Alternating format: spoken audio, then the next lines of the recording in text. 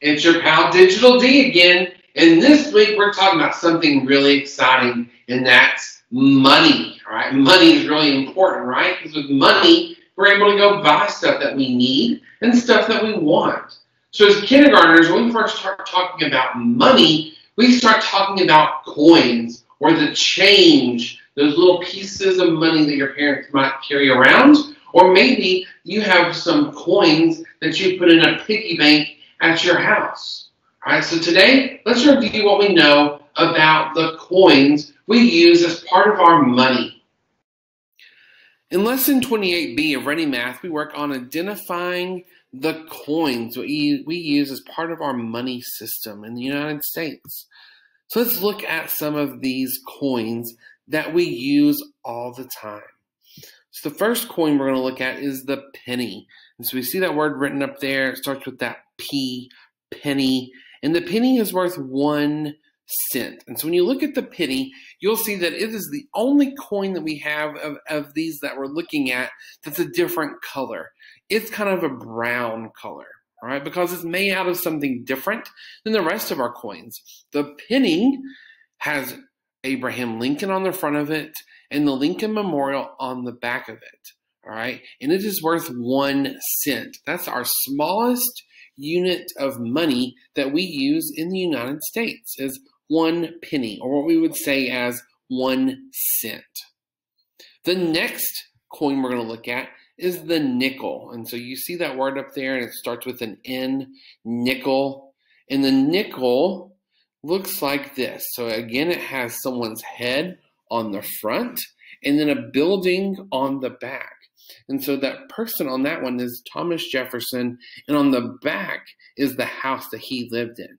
Right? He was one of our first presidents, just like Abraham Lincoln was one of our presidents, and he's on the penny. So those are the penny and the nickel. All right. Now the nickel is bigger than the penny in shape and size.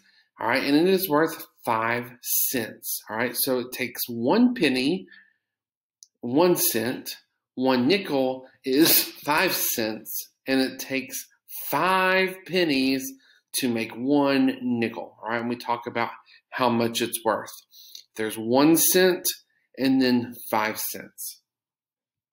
The next coin we're going to look at is the dime. The dime is actually smaller in size than both the penny and the nickel.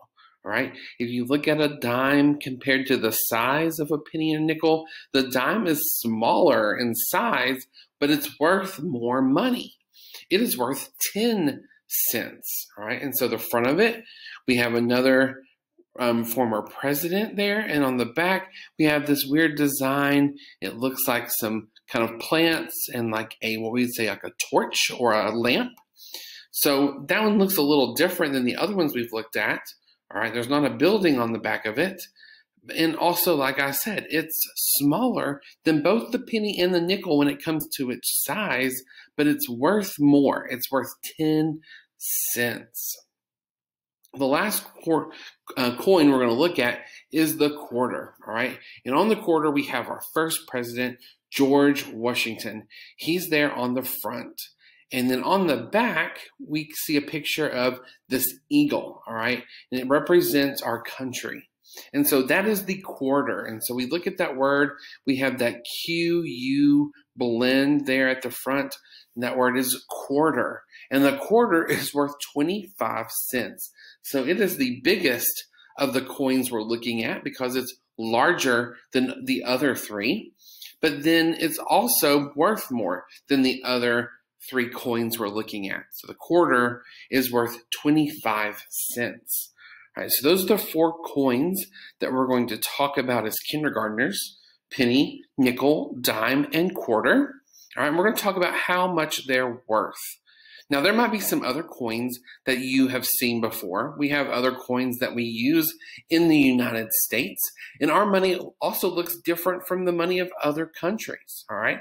So, our money has a lot of our presidents on it. All right. People that were presidents of the United States. Other countries have different people on their money. Now, the United States coins do not always look the same For instance, sometimes we change what the back of it looks like, but it doesn't change what kind of coin it is.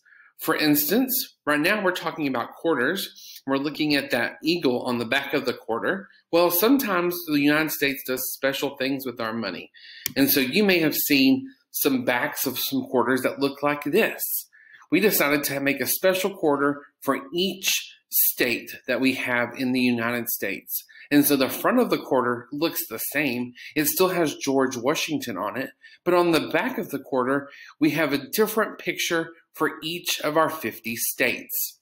So let's take a closer look at which one Tennessee looks like. And you may have seen this quarter before. All right, again, the front of the quarter has, still has George Washington on it, but on the back, it's a special quarter just for Tennessee, talking about things that are um, famous from Tennessee, like music. Music's a really important part of our culture here in Tennessee. And we also see the three stars that show up on our Tennessee flag. So sometimes our money does change a little bit in the design, but it does not change the value. So even though the back of these coins could look different sometimes, usually the front is going to stay the same and the money it's worth, the value of those coins doesn't change when we change what the backside looks like. So let's look at how much these coins are worth. So we talked about the penny with Abraham Lincoln there on the front of it. And that's the only coin that we have that's kind of a different color what we're looking at today. And that's kind of a brown color, right? And so the penny is our smallest coin when it comes to talking about how much it's worth. And it's only worth one cent. So in our 10 frame here, I just put one because it's only worth one cent or one penny. But when we look at the nickel down here, that bigger silver coin, I filled in five spots on my 10 frame because the penny is only worth one, but the nickel is worth five cents. All right, so we have one cent and then we have five cents. We have a penny, and a nickel.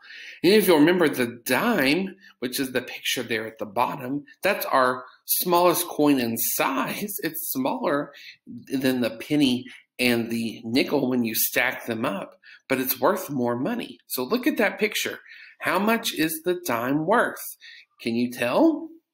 How many dots did we fill in on our 10 frame? Well, I filled in all 10 of them. So the dime is worth 10 cents. All right, so let's look again. Penny is one cent. I'm going to write it over here. We use one and then we use our cent symbol. So a little C with a little line through it. When we talk about our nickel, how many did I fill in on my 10 frame? I filled in five, that top row.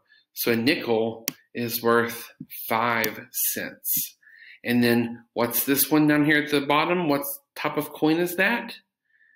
Yeah, it's the dime. And it is worth how many cents?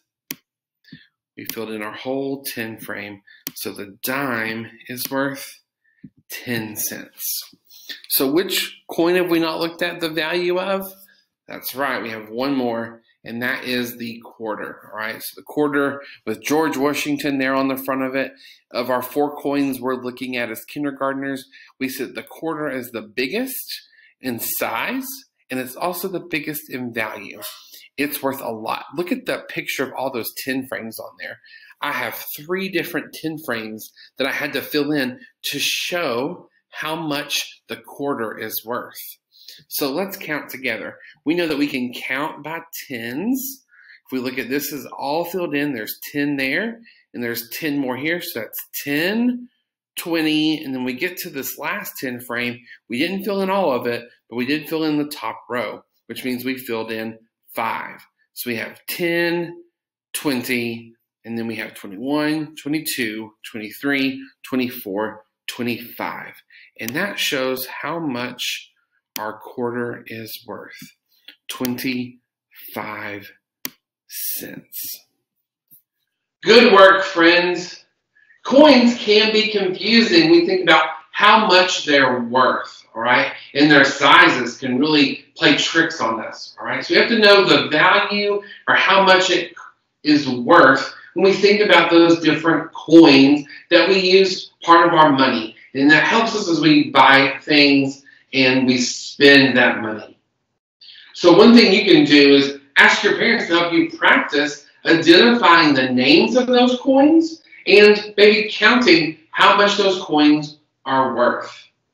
That's a great way to keep counting as we go throughout the summer.